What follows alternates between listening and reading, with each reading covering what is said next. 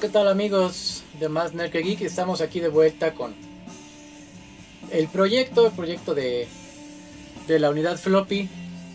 Lo prometido es deuda. No sé si esté un poco alta la música, ahorita vamos a ver. Mi nombre es Juan José Vélez, estoy muy contento de estar aquí con ustedes. Nuevamente en una emisión más. Aquí es un en vivo rápido y medio improvisado porque pues tenemos aquí las cosas ya listas para hacer la modificación del drive. Vamos a bajar un poquito la música para que no nos vaya a interrumpir. Listo. Y entonces, eh, pues ya tenemos todo listo para empezar. Ahorita que mencioné la música, pues es eh, unos remixes buenísimos que salieron. Eh, recién los estuvieron compartiendo. Volviendo a compartir, ¿verdad? Porque son remixes que salieron en lo largo del año 2021. Y son del sitio remix.kwd.org son los mejores remix de temas de Commodore 64, de música SID de Commodore 64. Y varios artistas ahí sacan sus versiones de las eh, tonadas más famosas de esta famosa ochentera computadora también, muy famosa.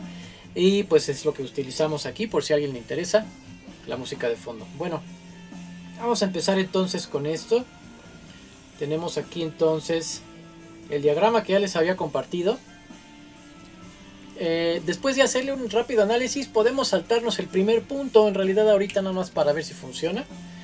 No vamos a retirar el, red detector de HD, de disco HD y disco de doble densidad, porque pues en realidad esto es por si se mete un disco de, de HD, ¿verdad? Pero pues no lo vamos a meter porque en realidad todos los discos, todos los eh, juegos, programas que hay para MSX, pues son en disco de baja, ¿verdad? En disco de doble densidad. Entonces es en realidad lo que vamos a utilizar. Puros discos de doble densidad de 720K. Entonces vamos a ahorrar ese paso. No vamos a poner lo que es el, el detector. El punto primero, retirar detector y puentear. No lo vamos a hacer. Eh, lo del LED tampoco. Lo vamos a hacer el punto 2 y 3. No los vamos a hacer. Si nos vamos a ir directo a conectar la resistencia.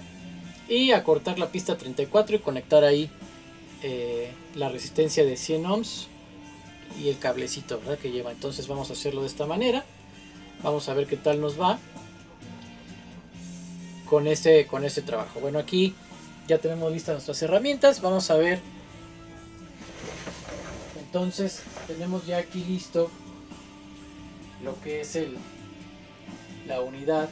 Entonces vamos a proceder a cortar la pista 34 ahí que enfoque un poquito la cámara, ahí está. Es la pista 34, la vamos a cortar ahí en la parte. les mostramos dónde. Pues como por aquí va a ser, a ver, ahí está. Como por aquí va a ser, yo creo que el corte por esta parte más o menos para que ya no pase la pista 34 y ahí le vamos a poner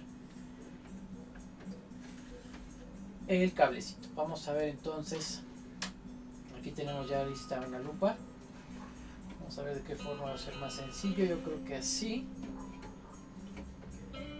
Y con este vamos a poder ver un poco más de cerca. Listo. Aquí tenemos una navaja. Y vamos entonces a proceder a cortar la pista. Entonces si es la 34 es esta tendríamos que cortar justo antes de donde sale el aquí verdad pista 34 vamos a proceder con el corte. No hay que hacer demasiado porque pues en realidad es una pista muy pequeña. Si algo saliera mal se le puede poner aquí un puente y nuevamente entonces poder tener la pista. Vamos a probar con un multímetro a ver si ahí en realidad tenemos aún conexión. En un momento lo probamos. Aprovechando que fuimos por el multímetro faltante, también vamos a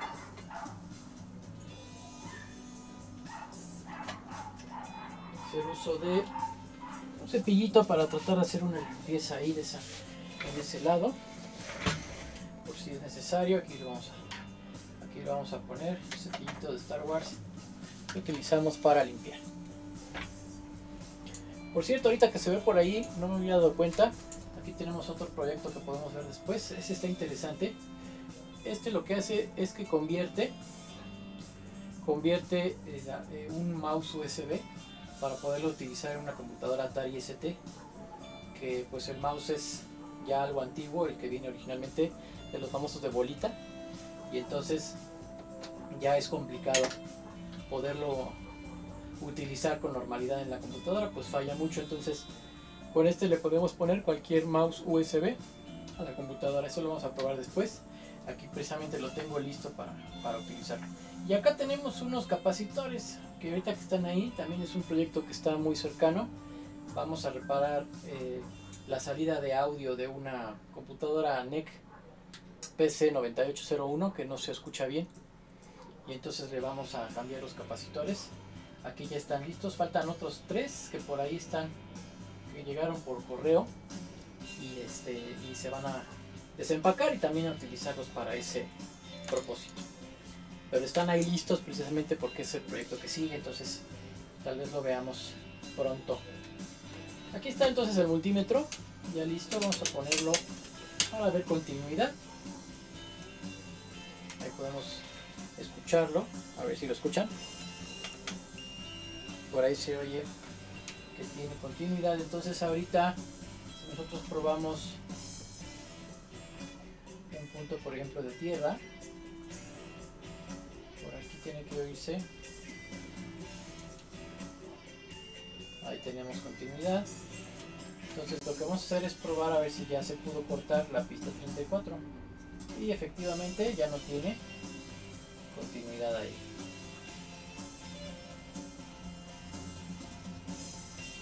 Ya no tiene continuidad. Vamos a hacer una limpieza rápida del área para poder ver bien realmente si tenemos ahí continuidad queda un poquito de polvo ahí. Vamos a observar con la lupa. A ver si realmente tenemos ahí corte. Y se ve bien. Se ve bien, se ve bien el corte. Si podemos ahí verlo. A ver si se puede ver desde acá. Igual y no creo. A ver si le atino. Lo podamos ver por ahí en la cámara verdad ahí así más o menos. Hay que alejarlo un poco. A lo mejor para que lo vean ahí así es más o menos la vista que tenemos. Podemos ver que está el corte de la pista. Entonces tenemos ahí el corte de la pista listo. Y ahora sí vamos a proceder a colocar primero la resistencia. Colocamos la resistencia. 100 ohms por aquí para que no nos interrumpa. Listo. Un poco de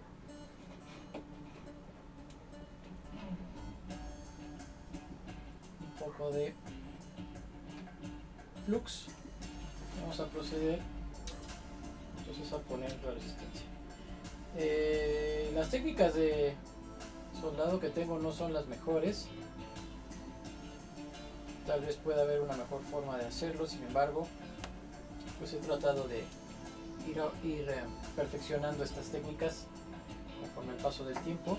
Sobre todo bueno también por las precauciones no como esto que estoy haciendo ahora no debe ser que la base está un poquito lejos de donde está la cámara entonces debería ponerlo en su base para evitar quemaduras y cosas así a uno mismo y a las cosas no entonces sería bueno hacerlo de esta manera.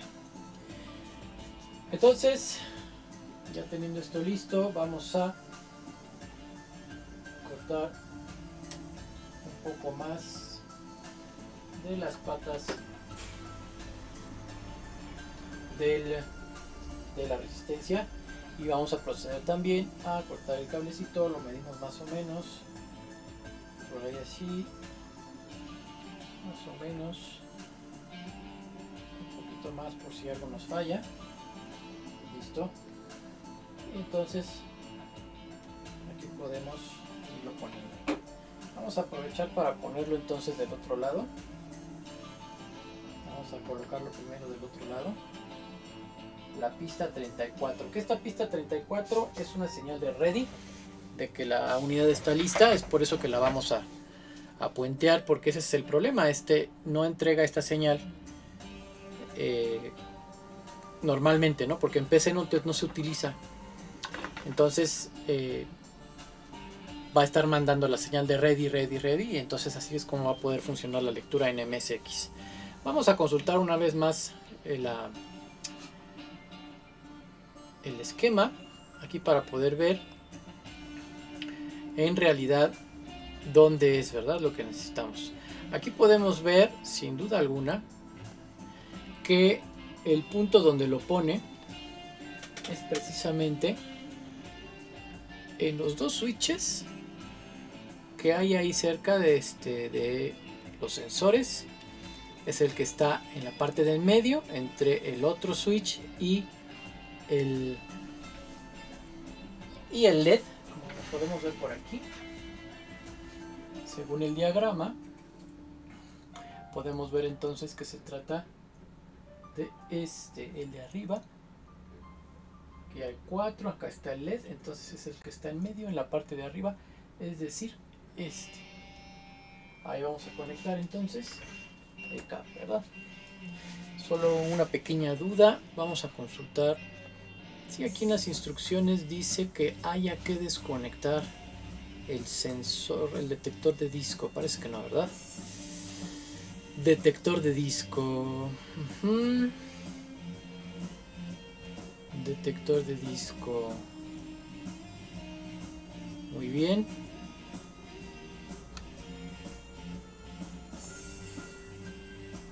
condensador. Muy bien. El otro conector suelto dice. Ok.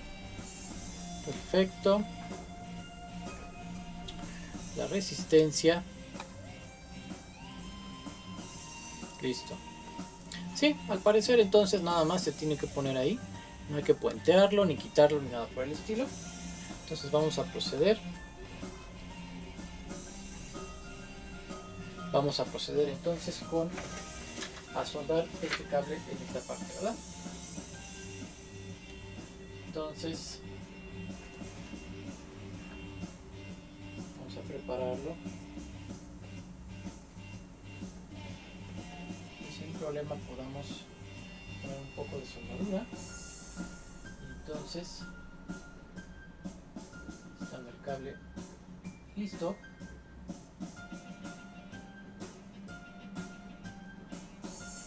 hace falta ponerle demasiado porque es un punto muy pequeño. Entonces siendo un punto pequeño es rápidamente que se puede lograr. Vamos a dejar sin cortar el cable en esta ocasión. No lo vamos a cortar para no dejarlo muy exacto. Y por si nos equivocamos en algo, ¿no? Este cable es muy delgadito. No necesitamos un pelacables, pero lo ideal es si tener la herramienta de pelacables, ¿no? Cuando vamos a hacer este trabajo para poder tener un cable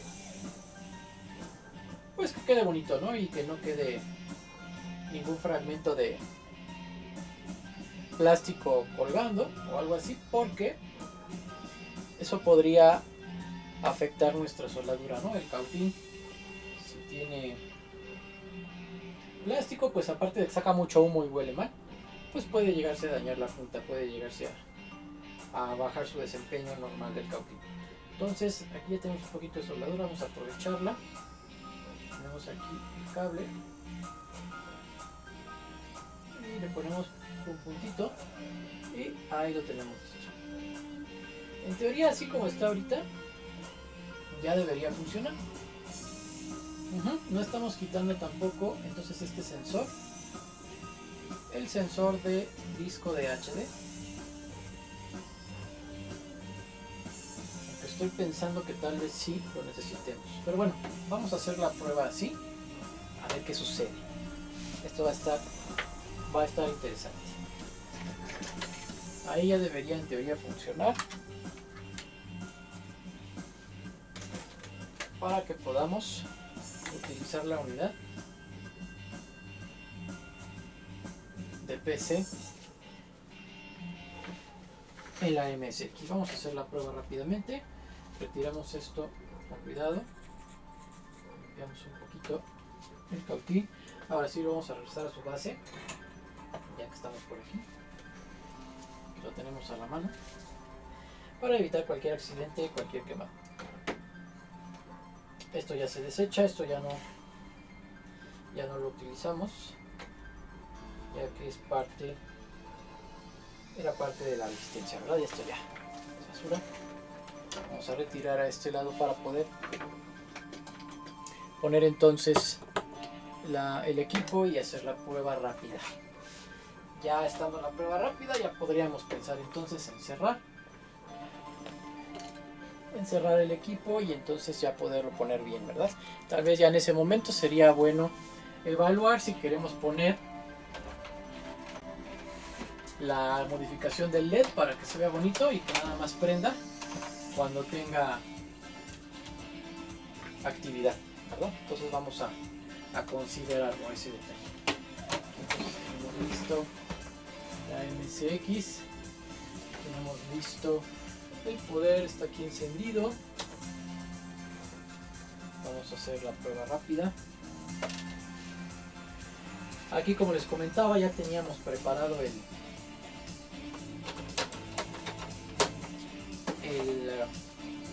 Gotec. Tenemos preparado aquí el Gotec. Y si estaba funcionando correctamente, este ya lo podemos retirar sin problema. Ya lo podemos retirar. Pero pues estaba funcionando sin problemas. Aquí es donde entonces vamos a hacer la prueba de lectura con, con la nueva unidad. Acuérdense que pues en este caso solo podremos usar discos de baja, ¿verdad? Discos de baja densidad. Estos los podemos identificar porque, bueno, la mayoría dice, ¿no? Una doble D en vez de decir HD. Pero en el caso de este disco que es original, pues, ¿cómo más lo podemos ver? Pues muy fácil. Los discos de alta tienen dos orificios, uno aquí y otro acá. Este es el de lectura y escritura la escritura más bien, para que lo evitemos que puedan ser sobrescritos. Y acá tiene otro orificio. Los discos que no lo tienen, pues efectivamente son los de doble densidad. En este caso, no tendría duda alguna, los podemos identificar rápidamente. Acá tenemos, por ejemplo, un disco virgen.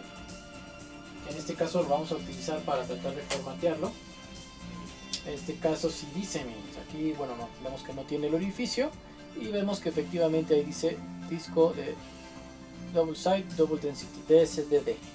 Que en comparación a los HD, por aquí tenemos uno, podemos ver entonces que este sí tiene los dos orificios y este aunque no tiene leyenda de marca ni nada, sí dice aquí HD. Y podemos ver que dice HD. Entonces podemos ver ahora la diferencia Ahora si nadie les puede decir lo contrario, que fácilmente pueden ustedes identificar un disco de alta a un disco de baja de 3 y media. Floppies de 3 y media. Bueno entonces el que vamos a utilizar es el de baja verdad y también pues el disco A de el juego original pues lo vamos a checar también. Ok entonces eh, revisamos que esté efectivamente todo apagado. Mm apagado, apagada computadora, listo. Y vamos entonces a conectarlo.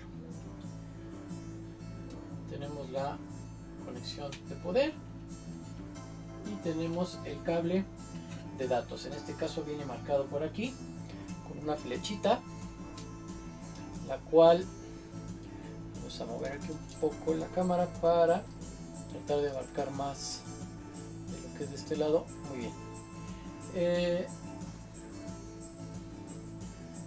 aquí vemos bueno el 34 donde pusimos la resistencia y entonces el 1 vendría siendo de este lado junto a la fuente de poder. Muchas marcas de discos tienen de este lado eh, el pin 1 entonces podemos recordarlo eso para otra ocasión. Aquí entonces nos aseguramos de ver dónde tiene marcado el pin 1 que es de este lado entonces entra así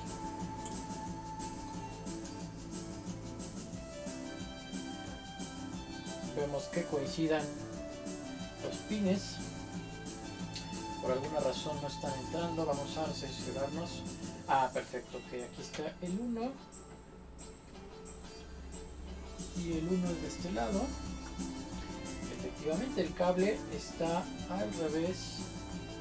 Sí porque si entra así con la muesca lo estamos poniendo al revés efectivamente y esto no funciona ponerlo así vamos a asegurarnos de que sea realmente el caso no vaya a ser que lo estemos metiendo al revés afortunadamente en estos casos no hay eh, digamos mucho riesgo si ponemos al revés el cable del floppy lo único que va a pasar no se quema ni nada lo único que va a pasar es que si tendremos eh, el foco, por ejemplo, de lectura. El foco de lectura se queda encendido. Se queda, se queda completamente encendido. Y entonces, pues ahí nos damos cuenta que algo anda mal. Efectivamente, algo anda mal. Entonces podemos verlo de esa manera y asegurarnos de que lo estamos metiendo correctamente. Ok, en este caso entonces, lo que vamos a hacer aquí, a ver, déjenme acomodar nuevamente la cámara porque no me está abarcando lo que quiero. Ahí está.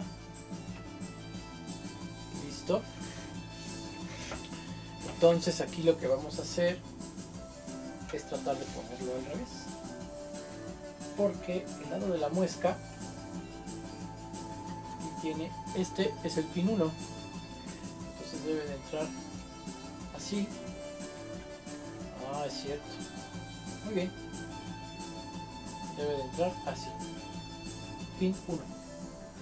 Entonces vamos a tratar de ponerlo de este lado. Para que podamos hacer la prueba. ¿Listo?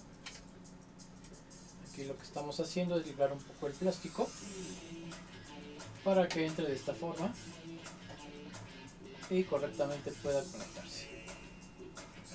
Revisamos nuevamente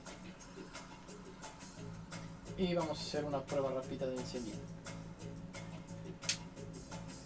Muy bien, aquí vemos que efectivamente tenemos el encendido del LED. Vamos a probar poniendo el disco virgen primero.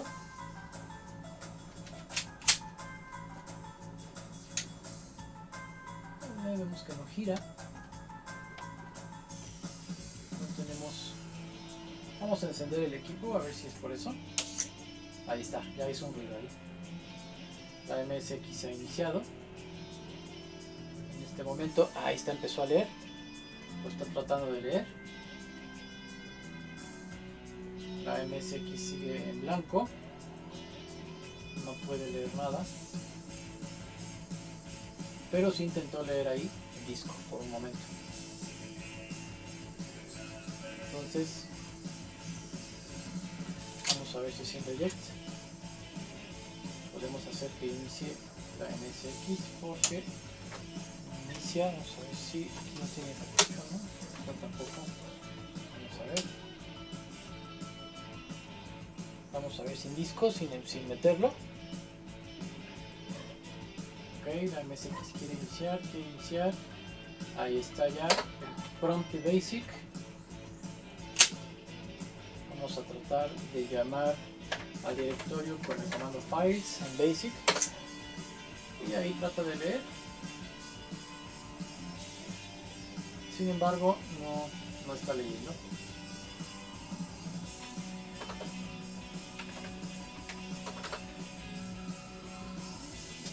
a probar si de casualidad estuviera al revés el cable de datos. No creo. No creo que esté al revés. Apagamos todo. Damos unos minutos, unos segundos. No creo porque si nosotros lo tenemos al revés, pues no daría el inicio que de automático, ¿no? Pero vamos a probar por si las dudas. Sí, efectivamente, si nosotros lo ponemos al revés, pueden ver ahí que el LED ahí se ve el LED como enciende enciende en fijo. Y eso no debe ser. Y es el indicativo de cuando tenemos cable al revés. De que sí se comporta, ¿no? Entonces, el cable está correcto. Así como lo habíamos puesto. Cable está correcto. Pero por alguna razón pues no está leyendo. Vamos a ver si el cable que pusimos está, bien. Vamos a probar. Vamos a probar poniendo un puenteo rápido. En la parte de el sensor. Estábamos calculando que no era necesario ponerle ponerle eso porque era, es como un digamos solamente para detectar el disco ¿no? estábamos calculando que no fuera necesario sin embargo puede ser que en este caso sí tengamos que ponerse vamos a tratar de hacerlo con música de fondo de West Bank, un juego del viejo este de Commodore 64, como se pueden dar cuenta. Pues sí, la musiquita es como del viejo este, ¿no? Y precisamente es de lo que se trata el juego. West Bank. Muy divertido. Tienes que... Eres el cajero del banco y tienes que identificar quiénes son los, los ladrones y pues como todo cajero del banco, ¿verdad? Que está armado, tienes que disparar a los ladrones y evitar disparar a los, clientes, a los clientes. Muy divertido el jueguito. Ok, entonces vamos a ver. En este caso tendremos que improvisar aquí un poco. Y entonces vamos a soldarle un puente rapidísimo aquí en el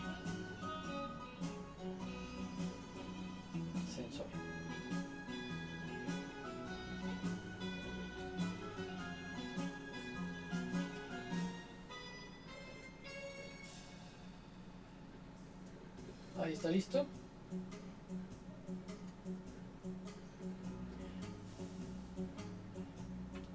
Vamos a probar con el multímetro la continuidad para ver si lo hicimos correctamente. ¿Ok? Debe ser que sí. Pero siempre es bueno asegurarse, ¿verdad?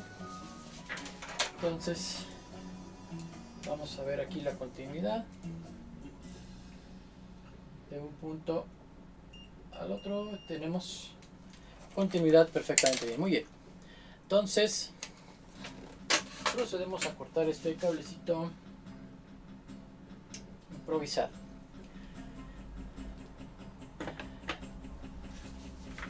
veamos entonces como aquí no, no influye en nada podríamos dejarlo así. Entonces proceder con el encendido.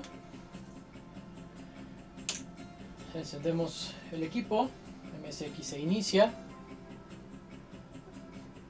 trata de leer el disco y nuevamente nos quedamos ahí pasmados algo algo nos está fallando aquí algo algo no no está del todo bien. Podría ser... Está bien el 34. El LED no es necesario. Vamos a ver si está dando la unidad de CD, de, floppy, perdón, la unidad floppy. Iniciamos MSX hasta que tengamos prompt de basic vamos a ver ay no inicia hay algún otro problema seguramente aquí vamos a tratar de poner en el puerto secundario el lector a ver si, si acaso fuera eso aquí lo tenemos apagado, entonces no debería causar ningún problema. Vamos a ver si es eso. Ahí lo tenemos apagado. Tenemos puesto el cartucho de la interfaz y no, no tenemos tenemos inicio de prompt. Probamos nuevamente sacando el disco. Sacando el disco y entonces iniciamos la MSX ahí va iniciando. Ahí tenemos prompt. Ok. Ahí metemos disco damos una llamada a directorio con el comando files el disco se oye que arranca pero no muestra nada esto tal vez puede ser normalmente tendría que salir un error. Sin embargo, pues no lo tenemos. Esto podría ser porque el disco no esté formateado. Entonces vamos a llamar primero al formato de disco. Vamos a llamar primero al formato de disco, que es con el comando call y luego format nos da qué número de drive, cuántos lados y pues no, no está funcionando. Vamos a volver a revisar el diagrama entonces para ver qué sucede. Antes de hacer eso, vamos a hacer una última prueba con el disco original. Con el disco original del juego, a ver si casualidad bootea.